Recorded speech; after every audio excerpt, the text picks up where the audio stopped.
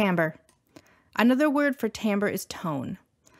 Timbre is the distinguishing characteristic that differentiates one sound from another, despite the fact that they might be playing the same frequency with the same amplitude.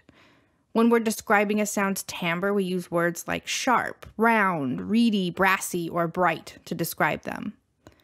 Let's correlate timbre to flavor. Think of apples.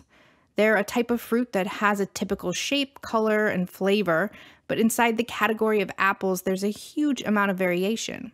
Some apples are very sweet, while others are more sour. Some are red, while others are green. They're all still apples, but each one with a distinct characteristic.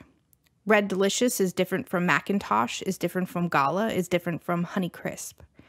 Even when describing one type, there might be variations from apple to apple. Same thing goes for sound sources. One category of timbre we use quite often is strings. Inside of the string family, we have violins, violas, cellos, and double basses. They have similar timbres and tones in some ways, but each one is distinct. When comparing two different violins, one might have a very bright sound while the other is more muted and dark. Even when playing one violin, we can produce different timbres by bowing a different way.